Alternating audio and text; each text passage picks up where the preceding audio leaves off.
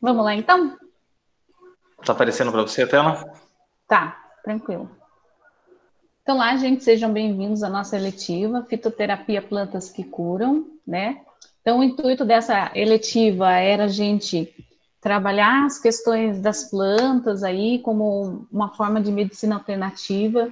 A gente está vivendo num, num, numa situação de pandemia, onde vocês estão vendo a corrida por vacinas ou por medicamentos que sejam eficientes, né, e que minimizem a quantidade de mortes que nós temos aí. Então, a gente vai nessa aula apresentar para vocês o que, que a gente propôs, né, o que, que a gente está propondo para vocês como atividade. Lembrando que se vocês tiverem também ideias para a gente estar tá complementando ou, ou fazendo, a gente vai estar aberto, né, a, a ideia de vocês para a gente estar tá moldando essa seletiva, porque a gente monta ela com algumas atividades, porém elas podem vir mudar conforme a ideia de vocês ou o que vocês querem ver também, tá? Então a gente consegue estar tá moldando essa disciplina. Então ela não é imposta, ela é construída aos poucos, tá? Então a gente separou alguns temas e algumas atividades para a gente estar tá trabalhando e nós vamos apresentar elas para vocês, os temas, a forma qual a gente vai trabalhar, a gente tá, depende muito de, de como que a escola vai se organizar. Vocês estão vendo aí que todo tempo há, há mudanças, né? Então a gente estava numa forma de rodízio, então o que a gente planejou foi na forma de rodízio, na verdade, e a gente está quebrando a cabeça para adequar o ensino remoto, totalmente remoto, né? Para que vocês tenham uma vivência, uma proximidade, né? Uma experiência bacana, porque o nosso intuito era ter muito mão na massa né? Ou seja, é, de experimentação, da gente estar tá fazendo as coisas mesmo é, acontecerem ali. Então, a gente não sabe ainda como que o ensino ele vai estar é, sendo ministrado aí perante esse período. Talvez a gente volte já, porque a gente está na fase vermelha. Talvez a gente venha a voltar nas aulas presenciais. Daí a gente vai fazer roteiros, né? Então, quem está na casa, no, no, rodízio, faz algumas atividades, que seja mais de pesquisa, né, de, de coisas que dê para vocês fazerem. E, e quem for para a escola... Oi. Luiz, você está com o celular com o som ligado? Então, desliguei. Hum, Estou compartilhando aqui que eu não consigo ver, só consigo ver minha tela aqui, tá, tá, tá difícil de... Tá dando ainda. tá dando para escutar. Vou deixar então, aqui. Gente, e daí, quem for na parte do rodízio, assim que vocês tiverem a opção de ir no presencial, a gente vai estar tá fazendo, desenvolvendo atividades mais práticas na escola, tá? Mas por enquanto são atividades aí que vocês possam estar desenvolvendo na escola. Então, eu convido a gente está quebrando a cabeça de forma a adequar um pouquinho o que a gente tinha pensado, tá? Lógico, como eu falei, a gente está aberto também às sugestões de vocês, porque às vezes a gente não tem uma visão e vocês têm, tá? Bom. Eu, assim, falando assim, é, a gente dentro dos slides vai estar, vai estar também indicado. A intenção nossa era fazer muita aula prática dentro da escola, é, atividades de laboratório, tem tudo a ver com a parte de química é, e biologia, as atividades, é, no decorrer dos slides vai estar demarcado o que, que a gente iria fazer. Espero, né? Todo mundo tem, tem a fé aí que logo a gente consiga voltar em segurança. Vamos readaptar o, o conteúdo para para que a gente consiga fazer na casa e atender a nossa expectativa. A gente está com muita expectativa para essa eletiva, porque é uma coisa que é bastante pertinente aos dias de hoje é, principalmente no sentido de bem-estar, né? Tem muitos fitoterápicos, que a gente vai falar assim no decorrer, que para a gente, né, na nossa casa, assim, é importante ter esse conhecimento cultural já, já é milenar. Então, a gente vai falar um pouquinho sobre esse histórico e é, as aulas práticas, né? Como é que vai ficar, né? Depois a gente também aceita, como a André falou assim, sugestões que seriam bacanas e fáceis de fazer na casa, possíveis de fazer na casa, mas a gente, a gente vai ser ainda meio que pisar um pouquinho no percorrer do o que ainda não foi. É uma eletiva nova para a gente, a gente também está aprendendo, vamos aprender junto com vocês. É, mas como vai ser, como vai ficar, o rodízio, quem volta para a escola, quem não volta ainda, é, vai ficar meio meio na, na curiosidade, ainda não sabemos direito ainda. Então vamos começar o, os slides, pode ser? Pode, é... mas antes eu queria uma interação com eles, que eles abrissem o, telef o telefone, o, o, microfone, e falar assim, pensem no dia a dia de vocês, tá? Então, assim, é, aonde vocês têm um contato com plantas, em que atividade ou, qual, ou quais objetos vocês têm no dia a dia que vocês aí mexem com produtos à base de plantas. Podem escrever no chat ou podem só abrir o microfone e falar, tá? Vamos lá? Aonde no dia a dia a gente tem as plantas aí como base? Ô, professora, eu aqui. Oi, pode falar. Então, eu pratico bruxaria. E eu geralmente gosto de mexer com as minhas plantas, que tem. A minha avó tem, tem. Sempre tem planta aqui em casa. De vez em quando eu vou ali, dou uma mexida nela, rego. Quase todo Aí. dia também. Então você tem esse contato físico com as plantas, né? Mas será que o tempo todo a gente tem esse contato físico com as plantas? Todo tempo não.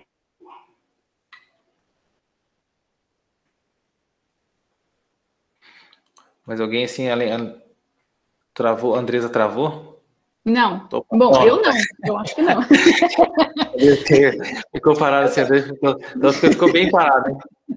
Eu estou esperando é, eles na, na participação. Como, é, assim, explorando um pouquinho, Cristiano, sua fala, assim, é, na verdade, assim, toda a gente pratica um pouquinho dessa, dessa arte, né? É, química, por exemplo, assim, a gente fala que é um pouquinho também de, de bruxaria e todas as coisas, esse conhecimento que antigamente era é, as, as mulheres, né? As mulheres, ela não podia ser muito, muito bonita antes, que era bruxa. A mulher não podia, tipo, é, descobrir uma receita nova que era considerada bruxa. A mulher, mais as mulheres, né? Estou falando assim porque era mais as mulheres. Né? É, é, é uma poção, uma poção, por exemplo, assim. Olha, olha tudo que a gente tem de medicamento hoje, assim. É, pode ser há um tempo atrás isso aí era bruxaria. Ah, você fez alguma coisa? Ah, bruxaria. Ah, você... Então, esse conhecimento aí, a criação de poções, né? Vamos falar assim o nome agora, em vez de falar fármacos, em vez de falar um remédio, em vez de falar uma compressa, vamos falar assim, as poções. Antes das poções, esses óleos essenciais, é, para quem não tinha o conhecimento e como era um conhecimento novo, era considerado bruxaria. Por exemplo, alguém vê uma coisa fantástica acontecendo, um fenômeno. É, é, é, até uma gíria falar, opa, isso é bruxaria, né? Olha que legal, né? Olha, então você está mexendo com uma coisa assim que, que foi há muito tempo atrás conhecido como bruxaria e hoje em dia ainda existe, né? Ainda existe essa, essas coisas assim. A, a, medicina tradicional é, chinesa e a, e a, milenar ocidental também tem muito a ver disso daí, né? Porque o que antes não tinha como conhecimento, não era tido como conhecimento científico, era considerado bruxaria, né? Muitas vezes até charlatanismo, né? Ah, isso aí é, não, não existe, não funciona. Mas depois de um tempo, vendo que se repetia o uso, e isso aí foi até para a ciência, depois eles baseavam por que, que realmente usa. Se deu certo uma pessoa, deu certo com outra, deu certo com, uma, com muitas pessoas, esse método ou essa substância, então, por que não estudar? E muita do que era antes tido como bruxaria, hoje é tido como científico. E você, como é, é, né, eu também gosto muito dessa, dessa área assim, de, de coisas assim, é, fenomenológicas, é, e também né, o, é, esse uso, né? Esse uso de alternativo de substâncias é, é bacana. Né? É, agora, não só assim, tipo, a gente fala assim, né? Cultiva planta, assim. Mas quem que não usa hoje em dia uma planta em casa, né? Quem que não toma um chá? Quem que não, não tem uma hortinha de, de, de, por exemplo, cheiro verde, vamos falar assim, né? o cheiro verde é uma coisa que, que cai, né? O cheiro, como é que o cheiro pode ser verde? Mas assim, quem que parou, não tem, Falou em bruxaria, olha aqui quem tá me... quem tá me rodeando aqui, ó. Eu tô, eu tô com meu chá aqui, ó. Tô, preparei já um chá também aqui na minha, na minha canequinha aqui também, que eu gosto muito, sou um amante também de chás. É, quem mais, pessoal? Alguém mais aí quer interagir, assim como o Christian, que tem contato com plantas na casa, cultiva, é, que a mãe, pai, tio, vovô, eles têm assim um conhecimento que já foi passado de família a família, algum remédio natural na casa, tudo isso vai fazer parte é, da nossa seletiva. E mais, né? Vamos tentar reunir um monte desse conhecimento e, e colocar no, num produto final depois. Vocês estão ouvindo o barulho da moto atrás aqui? Oi? Não muito. Não muito. Pessoal, o que eu queria salientar um pouco a observação de vocês é que as plantas, não falando só do fitoterápicos, as plantas no geral, elas estão no nosso cotidiano o tempo todo. é nas embalagens, é na nossa alimentação, são nos nossos móveis, nas nossas roupas, né? Sai daqui, Marie! Peraí, gente. Erros de gravação, acontece.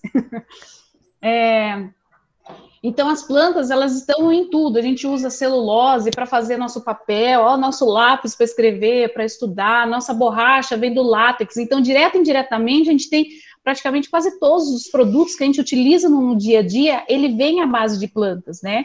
Então, ai, meu Deus do céu, gente. Calma aí que minha gata tá derrubando tudo. Sai daqui. Juan, pega sua gata.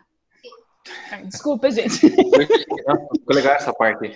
É, e, e, outras coisas assim, vamos falar assim, então, é, do que você usa para, para amenizar um, uma dor, ou então uma, uma, assim, uma, uma digestão, uma coisa, mas vamos pensar assim nos alimentos, olha só. É, olha a classe de, de, de plantas aí usada na alimentação olha as verduras, legumes, uhum. é, tudo isso daí, olha só, como é que foi adquirido isso daí, como é que se descobriu isso aí? Da mesma forma que é, descobriu que, que a batata, depois de cozida, tinha um sabor mais agradável, as plantas, depois de serem testadas e feito ou chás, ou feito é, infusão, alguma outra coisinha, né? Infusão e chá são quase basicamente a mesma coisa, extrair as essências, olha os aromas, né? Olha o aroma aí. Você vai ali o produto de limpeza, você vai, você vai fazer um, vai ter um desinfetante, tem um aroma. E esse aroma saiu de onde? Ah, é artificial? Pode ser. Mas como é que descobriram que artificialmente se conseguia fazer isso daí, mas sendo que antigamente não tinha é, produtos, essências naturais, é, artificiais, tudo era baseado em, em plantas, né? Olha a lavanda ali, olha o eucalipto, olha o mentol, essas coisas uhum. tudo foram que extraídas de, de dente, shampoo, sabonete. Então tudo. a gente tem N produtos que a gente usa no nosso dia a dia e a gente não se dá conta que as plantas elas estão presentes em tudo que a gente faz, né? Até mesmo a, a esponja, aquela esponja natural, né? É, para tomar um banho, né? Fora o sabonete também, que tem essências, como o, o Luiz ele falou, perfumes, o shampoo, né, a base, você vai ver os produtos, ele sempre é a base, por exemplo, um óleo de amêndoa, alguma coisa assim, de coco, ele sempre tem as plantas envolvidas, né? Então, eu queria gostar isso daí para vocês e, e, assim, como tarefa de casa mesmo, para vocês estarem vendo, observando melhor a sua rotina. E nessa rotina, se tiver embalagens de produtos, olhar do que, que eles são feitos, né? Então, vocês vão ver a importância das plantas, e nem sempre eu falo isso porque há uma cegueira botânica muito grande, né? Por quê? Porque a gente não enxerga, a gente enxerga o produto, a química às vezes, mas não enxerga que para ter aquela química teve procedimentos de a base de, de plantas, né, de, de essências naturais e tudo mais. Então, são coisas que a gente utiliza no dia a dia e que a gente não se dá conta, tá? E, e assim também na, naquela que o Luiz falou do, do conhecimento milenar, que é passado às vezes até de vô para avó, para pai, para tio, até para você, né? Que nem falar assim, ah, tá com uma dorzinha de barriga, vai lá, avó, e faz um chazinho, né? Então, é, todo esse conhecimento, ele basicamente é por meio de observação, a maioria é observando, principalmente a gente vai ver o contexto histórico, observando aí é, os animais primeiramente, né, quando a gente retratar lá no Homem das Cavernas, né, os homens é, primitivos, a gente vai ver que eles observavam primeiro os animais, então se aquele animal, é, ele estava meio inquieto, né? Mesmo sendo um carnívoro, e de repente ele se alimentava de um fruto, de uma folha, e via que daí às vezes ele vomitava, e depois ele voltava a uma atividade normal, ele sabia, opa, aquilo lá serve para curar uma dor de barriga ou alguma coisa, uma, uma indigestão, né? Então, essa observação dos hominídeos, né, ao longo da história, é, assim que eles começaram a criar e observar esses animais selvagens, porque tudo por observação, para ele saber que uma planta era tóxica ou não, ele observava primeiro os animais, né? Principalmente os herbívoros, que se alimentam basicamente de plantas. Então, por que, que aquele animal comeu uma planta do lado, mas não comeu aquela outra, né? O que, que será que tem nela? E a gente vai ver que é experimentação pura. Podia ele ir lá comer para ver por que, que o animal não comeu? Podia. Ele morreu por, por, conta disso? Possivelmente, se a planta fosse tóxica, né? Então, é muito da experimentação. Os indígenas é assim, a gente tem um povo cultural muito rico é, nesse quesito de, de conhecimento da, dos recursos naturais, uma floresta, por meio da experimentação. É alguém que foi lá, comeu, passou mal, teve tais sintomas, a observação e morreu depois de três dias, por exemplo. Então não pode, aquela planta é venenosa, aquele animal pegou um animal e ele tinha substâncias que talvez fosse venenosa, né? Então tudo por meio da experimentação, né? E com isso eles vão conseguindo aí ter esse conhecimento e, a, e é passado esse conhecimento através das gerações, né? E a gente vai ver um problema desse conhecimento cultural, porque muita gente, principalmente grandes é, é, indústrias que financiam pesquisadores, que vão em busca desse conhecimento cultural e às vezes acabam roubando, né? Não é entre aspas, é roubando mesmo. Né, roubando esse conhecimento e patenteando. E aí, conforme os estudos vão aparecendo, eles vão desenvolvendo as pomadas, os cremes, enfim, o que os remédios que a gente precisa. Então isso é chamado de biopirataria e a gente vai discutir sobre isso, que é muito importante a gente defender o que é nosso, né, o nosso conhecimento. Que a Andresa citou assim do, do, dos animais, né? Observando os animais. A gente tem uma capacidade enorme de aprender que é pela experiência dos outros e não a gente repetir no mesmo erro, né? É, e desde já também a gente fala assim que durante essa. A gente vai fazer muitas coisas, muitos testes, inclusive vocês da casa, eu também aqui, vamos trocar conhecimento, trocar experiência. E eu já estou com meu caderninho, meu diário de bordo também, que eu vou ter durante essa eletiva, que é para me anotar cada nova substância que for dita, cada nova substância que eu pesquisar, que vocês pesquisarem. Vamos depois, no produto final disso aí, fazer um compilado de todas as informações. Então, guardem tudo. Ouviu alguma coisa? Guarde. Alguém falou alguma coisa na casa? Guarde essa, essa informação.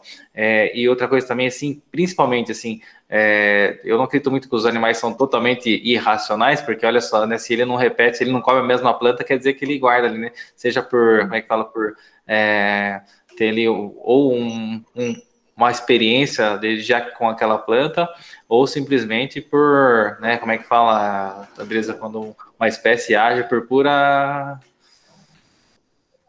Como é que é? O comportamento das abelhas são. Que não é que não é que ele não é que ele sabe que ele está fazendo aquilo ali, é por ele não fala instinto, que é experiência, né? instinto, né? Instinto. instinto ali dos animais. E, e, claro, pessoal, vamos experimentar coisas novas? Vamos, mas também não vamos sair experimentando qualquer coisa.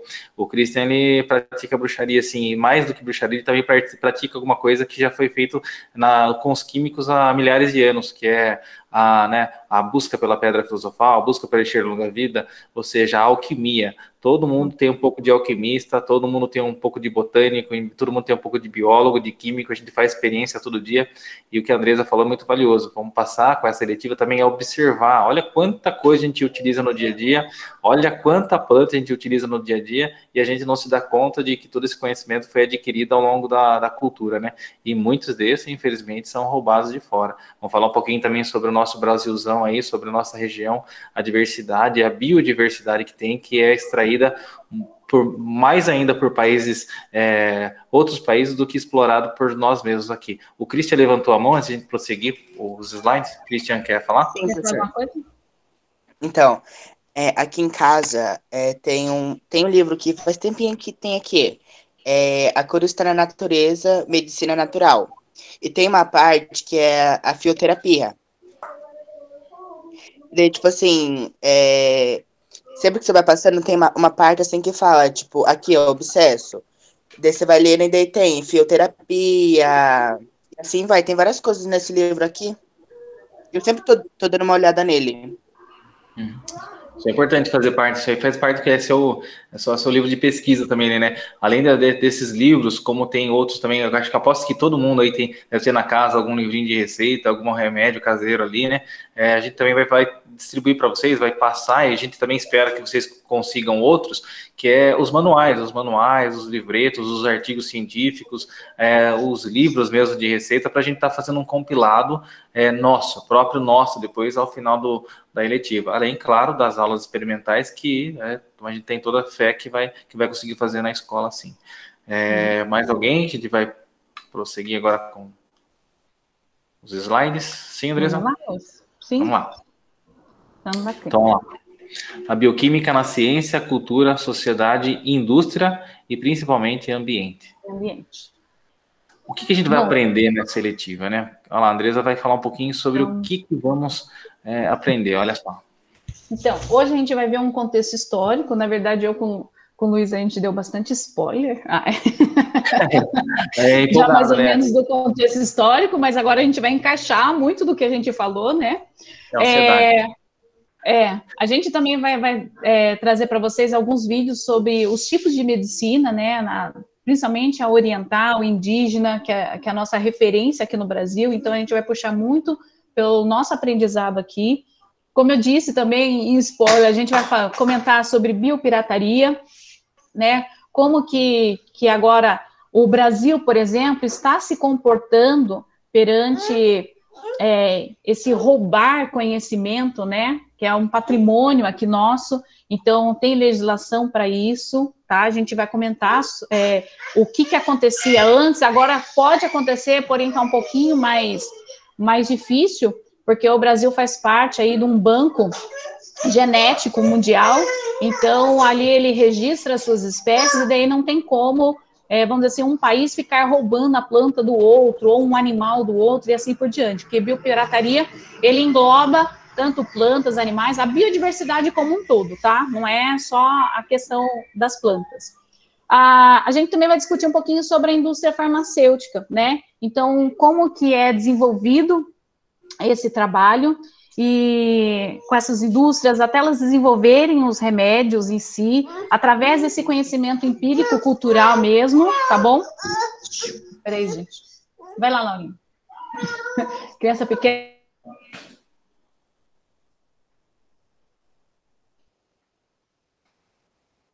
Uma pomada que a mãe faz, ou alguma coisa só para passar na pele, às vezes está dolorido a gente tem que ter alguns cuidados, então não é só porque é a base de plantas que você pode usar de maneira inadequada ou sem ter algumas regras, tudo tem regra, tá?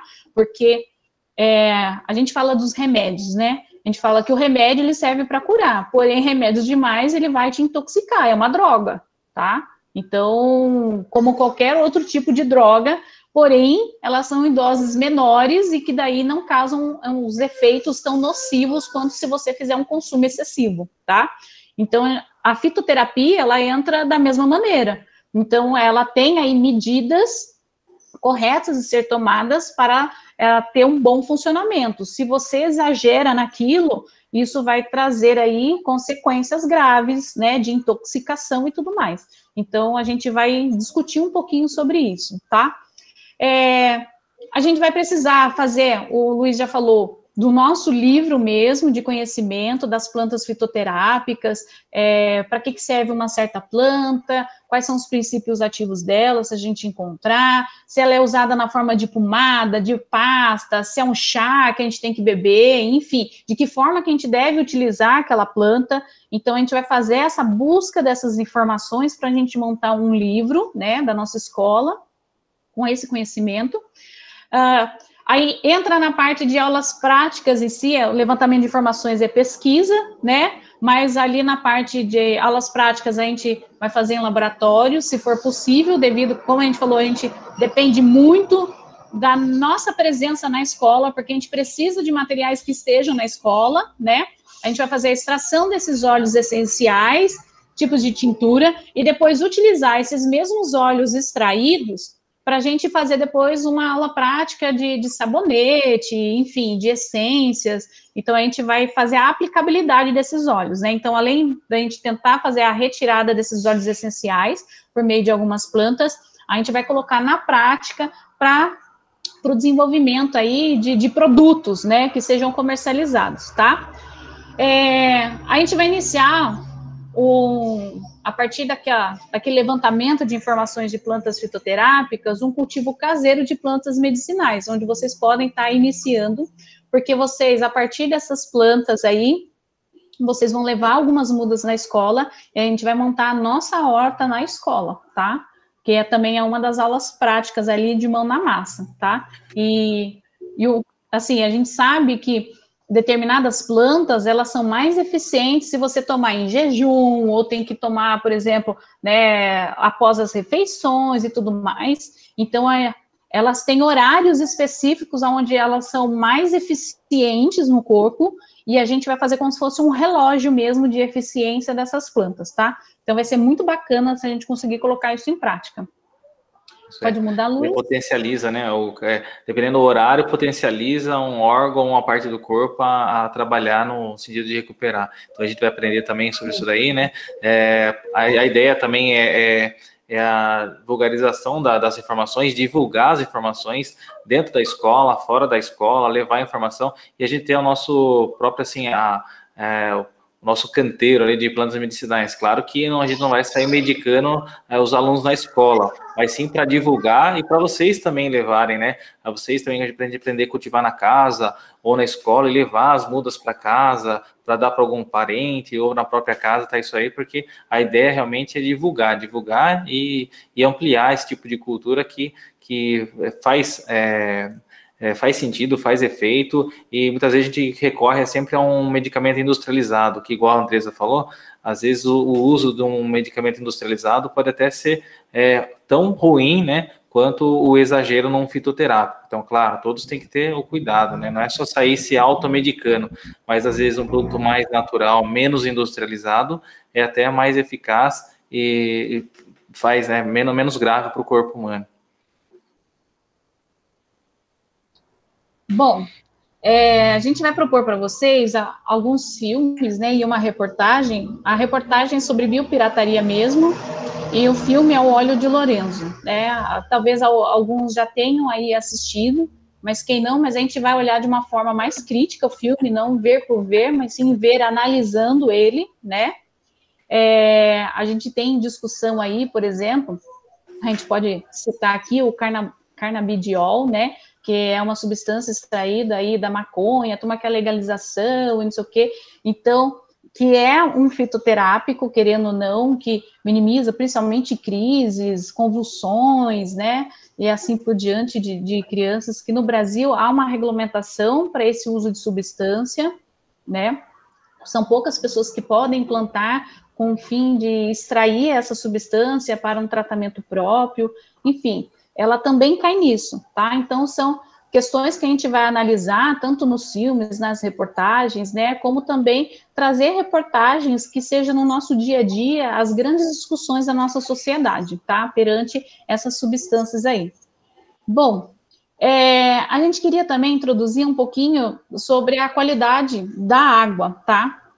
Que a gente vai ver que a água, nem sempre por ela estar transparente, né, e tal, ela está potável, ou seja, ela, ela está própria para um consumo, sem é, causar é, doenças, né, a gente vai ver que várias é, doenças são transmitidas pela água, e os nossos olhos não são capazes de observar, e através da microscopia a gente vai ver o que tem numa água, por exemplo, parada, numa água em rio, ou até mesmo na água né, por exemplo, que não seja tratada, ou a tratada em si, para a gente comparar e identificar esses micro-organismos. Como eu disse, às vezes olhando no copo, a água está transparente, mas ela está cheia de micro-organismos, né, por exemplo, principalmente protozoários, que podem aí é, causar doenças, tá?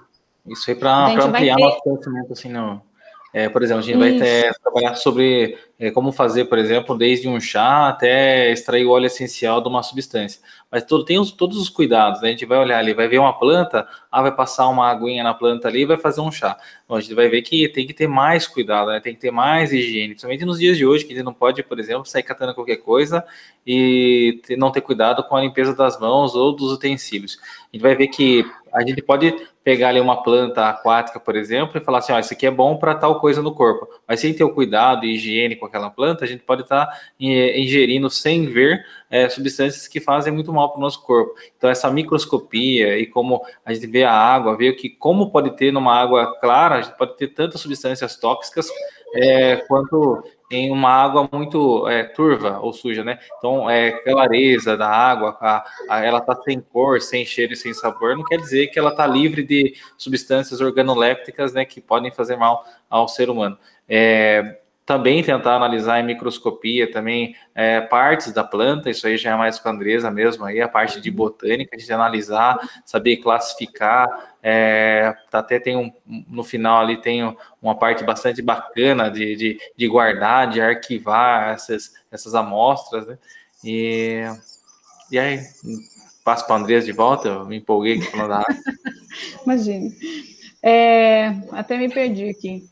Bom, e daí, a partir que vocês começarem a fazer esse plantio na casa, levar essas mudas para a gente fazer a nossa horta, como eu disse, é uma horta medicinal, mais para desenvolvimento científico, é, divulgação, né, para o restante da escola. Também uma coisa para ficar para a escola, né? Então é um legado que vocês estão deixando para a escola. Isso é bacana, que vai ficar ao longo das gerações, se bem, se bem cuidado. Como eu já disse, a gente vai tentar produzir os sabonetes, né, sabão e assim por diante. É, com essas plantas, a gente tem um papel na parte de, de, nomenclatura dessas plantas, quando a gente faz o levantamento das informações, de nome científico, em que grupo de planta ela faz parte, se ela é uma angiosperma, ginosperma, enfim, a gente vai ver tudo isso, tá? Em qual grupo de planta ela está inserida, quais são as características dela, e para isso a gente faz um trabalho de escicata. O que, que é escicata? Esse cata, ele é um trabalho a qual a gente retira partes da planta, às vezes um galinho com folhas, flores, enfim. É, a gente deixa secar naturalmente, né, por meio de papelão, jornal, ou no meio do livro, que a gente sempre faz, às vezes coloca uma florzinha, né, dentro de um livro, deixa lá secar, e a partir disso a gente faz o levantamento dessas informações, qual é o nome científico, quais as características daquela planta, é, qual a fenologia dela, a fenologia é o ciclo, né, quando que ela dá fruto, quando ela dá flor, se ela é uma planta de flor e fruto também, que nem todas as plantas têm flor e fruto, enfim. Então a gente faz esse levantamento, faz uma etiqueta, coloca num, numa cartolina, né? E a gente costura essa planta e ela fica como um banco de dados, né? A gente vai ver, por exemplo, no Brasil, houve muito, muita coleta da nossa biodiversidade, onde o Banco Mundial, sabe, é a França, é Portugal, e não é o Brasil em si, né? Por quê? Porque as grandes expedições, desde que o Brasil foi colonizado, eles acabaram aí levando tudo para fora, todo o conhecimento, né, da, dessas plantas, o levantamento das espécies, a nomenclatura, dar nome a essas plantas, né? No início da nossa colonização, a gente teve várias ao longo da história expedições especificamente com cientistas botânicos, né? Que coletavam essas informações, só que levava todas essas informações para fora. Né? A gente tem um banco grande no Rio de Janeiro, porém algumas espécies principalmente aquelas que estão em risco de extinção, a maioria delas, das descrições, são de bancos online, lá na França, lá em Portugal e assim por diante, tá? E não aqui no Brasil, onde é da nossa flora. Então, a gente vai ver isso daí também, fazer é, esse tipo de, de trabalho para a gente saber como que acontece o trabalho de um sistemata, né? Que é uma área da biologia que faz isso, que vai em campo, coleta dados de uma, uma planta, né, desenha ela ou cata amostras, né, para fazer essa, essa, esse cata, essa análise, tá bom? E depois a gente vai preparar algumas atividades para culminância, né? Então a culminância, ela é muito vocês mostrarem aquilo que vocês aprenderam para outros alunos, né? Quem sabe até o meio do ano aí a gente possa fazer de uma forma assim bacana na escola, que a gente não sabe ainda como vai ser. Se vai ser online que nem o ano passado. O ano passado a gente fez de forma online, né? Então a gente pegou, por exemplo, é, opiniões de vocês, as aulas que vocês mais gostaram, o que, que vocês aprenderam e assim por diante. E a gente fez um compilado, um vídeo, né, para divulgação da escola. Esse ano a gente... também, né? É, a gente planejar através do dado que vocês coletarem, as fotos, né? Claro, muito, é, principalmente as fotos e também a, a, produção do nosso próprio catálogo, né? De, é, de, de, qual o que a gente conseguiu, né? Vamos montar o nosso próprio é, documento sobre o que a gente aprendeu e sobre as plantas que a gente aprendeu. Vamos organizar tudo e até tentar publicar é, um livrinho, né? Um livreto para distribuição para a comunidade escolar, para os pais, tal. É, Bom, a gente, você viu que a gente se empolga bastante, né? Tá, tá chegando um pouquinho já perto do horário de término da aula. É, Andrés, vamos é, falar um pouquinho sobre o histórico. É, a André já citou também, a gente sempre cita assim um pouquinho, né, é, do, de como ocorreu, quando aconteceu, né, como que eles vieram para cá muito tempo atrás, o Brasil, e levaram muitas coisas, mas tudo isso aí, vamos falar um pouquinho sobre agora a história, né? A gente vai correr um pouquinho, tá, gente? Que, como eu disse, a gente já deu bastante spoiler. Bom, então lá, é, as plantas, elas sempre, sempre estiveram aí nas grandes civilizações, né? Então, de uma forma aí bem, bem cultural, de observação, como eu disse, em animais é que tinham certos comportamentos e a partir disso os humanos também produziam esses comportamentos, né? Então, se ele viu um animal comendo um fruto, por exemplo, de uma árvore que caiu dessa árvore, o humano ia lá e comia também. Se não comia, ele não comia. Ou se comia por curiosidade, né? Tinha o conhecimento do que, que aquele fruto poderia ocorrer, tá? Então, o conhecimento antigamente, ele foi sempre construído a partir das experimentações, né, de consumir ou não consumir, tá? É, o que eu vou chamar mais atenção para vocês é que no século 14 e 15, as, as plantas elas tiveram um grande destaque, tá? Mas é um destaque assim, não só na alimentação, mas também para outro, para o desenvolvimento de outros produtos e também temperos, né? Que a gente chama aí de especiarias. Então, é, isso culminou, depois das cruzadas, vamos pensar assim, nesses séculos aconteceu, se vocês forem estudar na, a, história, teve as cruzadas, eram as grandes guerrilhas entre alguns países que eles é, viam para aumentar o seu território, o seu poder territorial, né?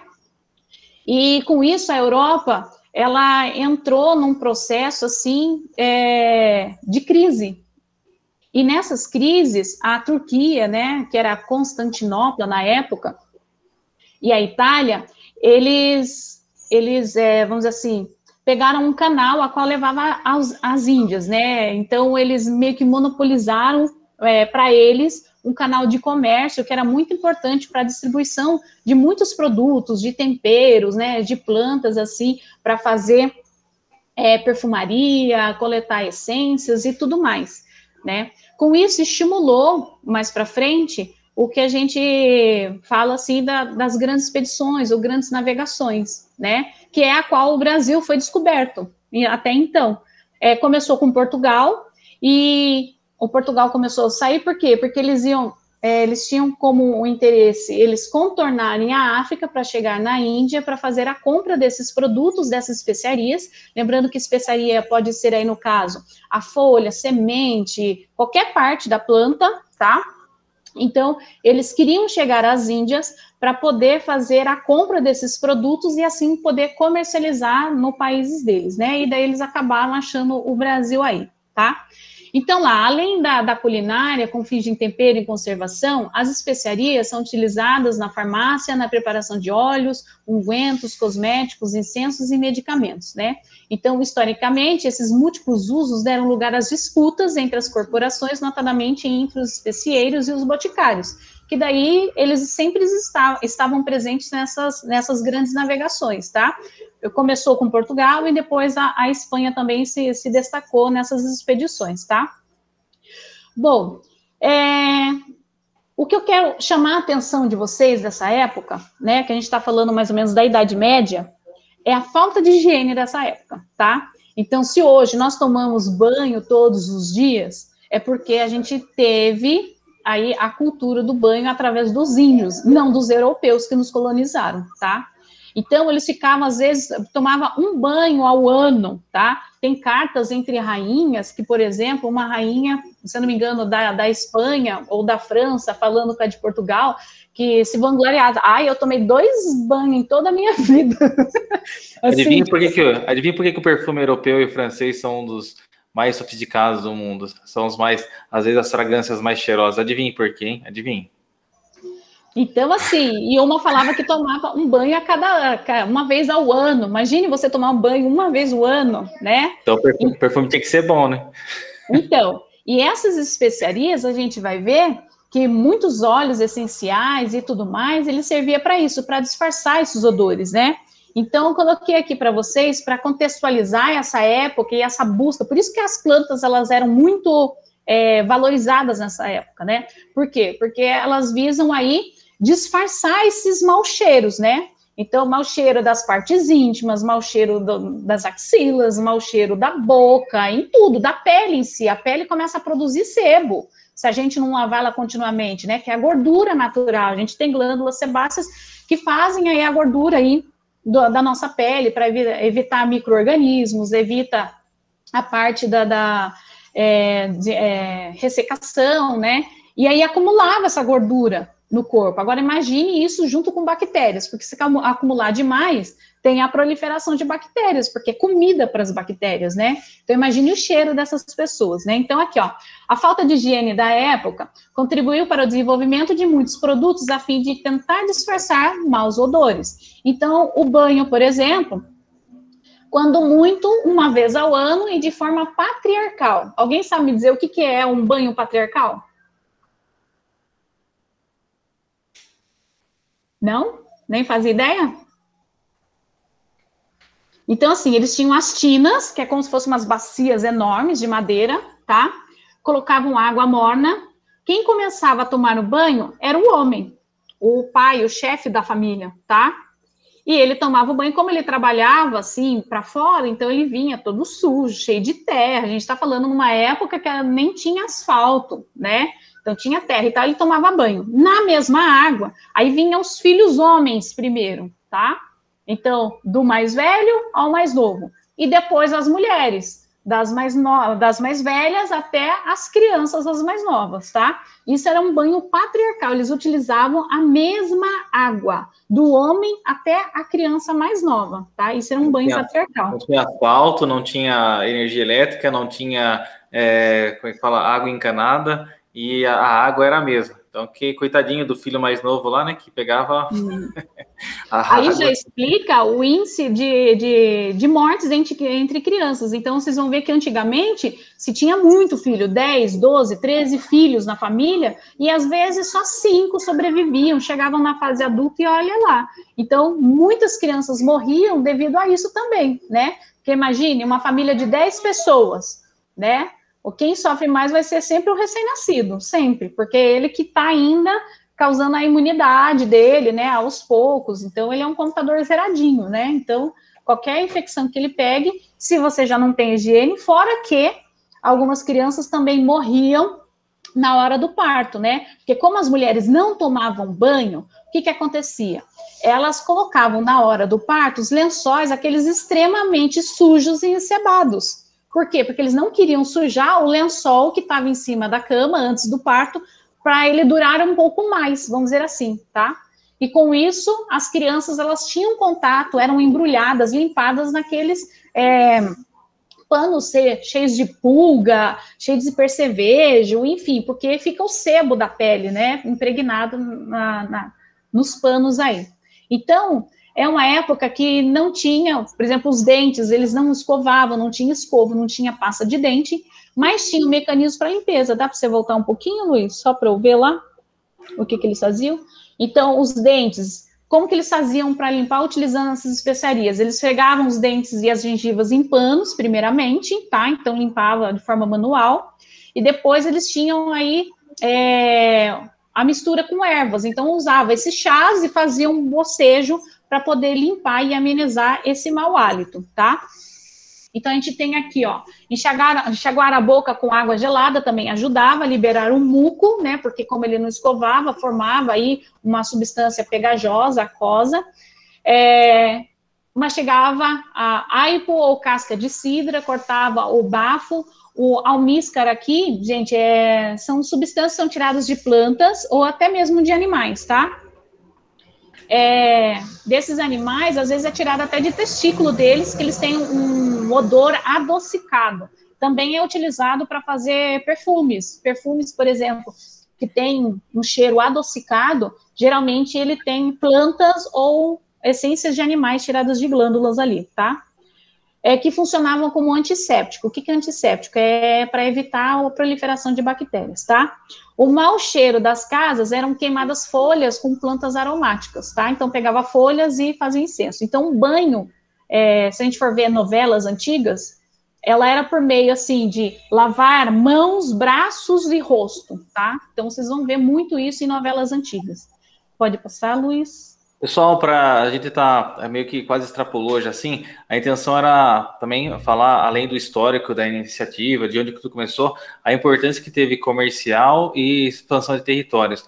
Olha só essa foto bem bonitinha aí das especiarias, ó. Chegou a valer mais, muito mais do que ouro nisso daí. E agora falar um pouquinho assim sobre as grandes navegações, não vamos entrar tantos em detalhes assim em leitura, depois a gente passa esse material para vocês e também volta a abordar isso em alguns dos encontros. Olha só, mas na busca de especiarias que não tinha no próprio território e nas grandes navegações, para buscar, além das especiarias, também é, matéria-prima para produção é, de outros materiais, como por exemplo o pau-brasil, como foi bastante explorado e extraído a tintura deles, né? Outros metais também, é, como a prata, o ouro, que no país de onde saíam as navegações não tinha em excesso, foram buscar nos outros países. É, e olha só que bacana, assim, ó, começou com essas grandes navegações, o início da globalização, ou seja, teve essa expansão territorial, teve essa divulgação, o que não tinha num país foi levado a outro, o que não tinha aqui foi buscado em outro país, com isso é, passou-se a conhecer mais o, o, mar, né, as explorações marítimas, olha que legal esse barquinho ali, é o contorno que fazia pela, pela África ali, ó, saindo ali e indo até o caminho, fazendo o caminho das Índias, como era conhecido. Num desses erros aí, chegaram à América, né? E olha só, houve também a descoberta da América. Olha como só, através de, da, da especiaria, buscar especiarias, também chegaram a conhecer outros territórios. Depois, é, pegavam essas plantas exóticas, né, que é um tipo de biopirataria, e começavam a colocar, é, plantar no território de origem, para quê? Para é, conter gasto de ir buscar até um país, né? Plantava, tentava plantar no próprio território. Com isso, teve o investimento nas grandes especializações, como a Andrés disse no começo, assim, com especialistas, com botânicos, com pessoas que conheciam mineral, que conheciam vegetal, para buscar explorar e trazer para o país é, de origem esses, esses é, produtos. É, desenvolveu muito a náutica, né? A gente hoje pode ver que, que bacana ali, ó. É, vocês não vão conseguir ver, ver o meu mouse aí, mas olha só, era só passar por aquele canalzinho ali, não era? Olha, tem até um, um caminho ali que era facinho passar. Olha só, hoje um grande, esses dias um grande navio lá, cargueiro, é, encalhou bem ali, que é o canal de Suez ali, que foi feito exclusivamente para não precisar dar a volta, né, da, da Turquia ali, das Índias até a Europa, né, até Portugal ali, é, não precisava contornar toda a África, passava só por aquele canal de Suez ali. É, bom, já falamos bastante sobre a fitoterapia, é um conhecimento bastante antigo, 60 mil anos é, ou mais até. É, a fito, né, tem a ver com a palavra as plantas, né? É, o homem já descobriu muitas coisas foi tentativa e erro, é, procurava fazer o teste, se desse certo, ele agregava na cultura, no uso cotidiano, se não desse certo, se os animais não comiam, tinham como venenosas, muitas vezes o animal comia, não era venenoso para o animal, mas às vezes passava a ser para o ser humano, e aí, conforme a cultura foi passando, foram deixando de usar. É, a Andresa falou também da, né, do, do, da, das ruínas aí na China, né? A China, né? O conhecimento a, tradicional oriental é um dos mais antigos também. Eu vou passar um pouquinho, pessoal, mas depois esse material vai ficar tudo com vocês, tá bom? Aqui um pouquinho da história, né? No Egito, é, ali a, também tinha, né? O óleo bálsamo, né? Tão antigo, até hoje vendido, né? Comercializado, mas imagine quanto tempo atrás isso aí já era conhecido. É, a era cristã, né? Toda, toda, toda a era, toda a fase da história teve sim alguma planta que se destacou é, cada vez mais. Eu depois vou passar para para não estender um pouquinho mais.